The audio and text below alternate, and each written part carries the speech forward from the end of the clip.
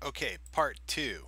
We are going to uh, go into the stroke properties panel a little further. So once again, I close out that. I'm going to just make a little white dot right here in the middle of the workspace. Right click and go to properties. Okay, so we just covered this panel and I'm just going to bring this up a little bit and maybe make this a little larger and uh, let's make it a different color. Let's call it uh. Um, so now that I've got that, what I'm going to do is click on stroke and choose shadow. Okay, so this panel will allow me to enable a shadow for this object. This object could be anything. It could be your logo, it could be text, um, you name it.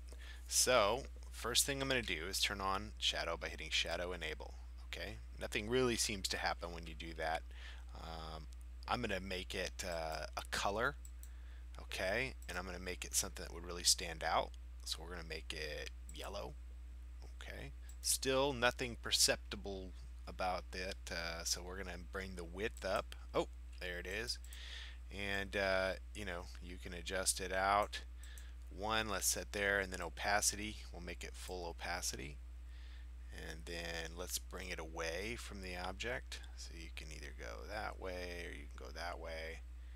So um, let's bring it way out here.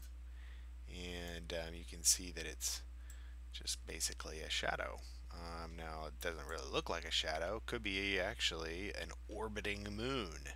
So if we bring the elevation away like right there and then we animate let's say the azimuth Look at that.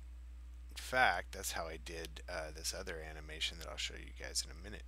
But this is just a shadow that I've uh, you know brought away from the object.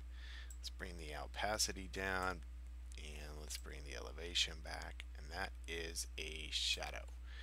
So um, let's see here. Let's say this is something you want to use again later in the past or in the future you can just drag this out. I'm using my right mouse button and I'm going to hit save. So I, there's the paint stroke. If I select that, now everything, every you know, it's still a spray, so you see it came in, but um, basically it has a shadow feature to it. So there you go. That's the shadow.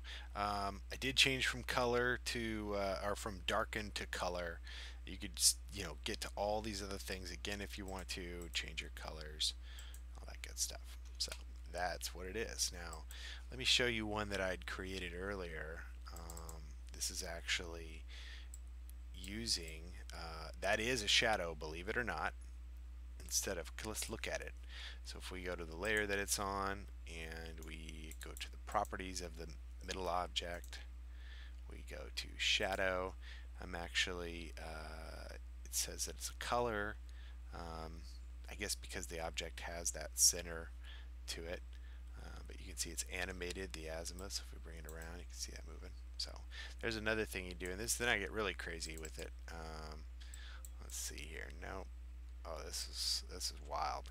So what's happening here? We'll get into that later. Okay, we'll talk about that later.